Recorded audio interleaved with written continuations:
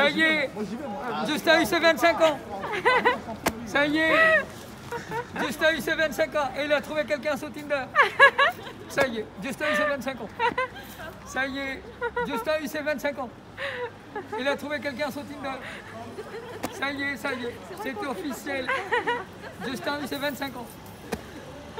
Justin 25 ans, c'est fait. Ça y est, c'est fait. Justin 25 ans.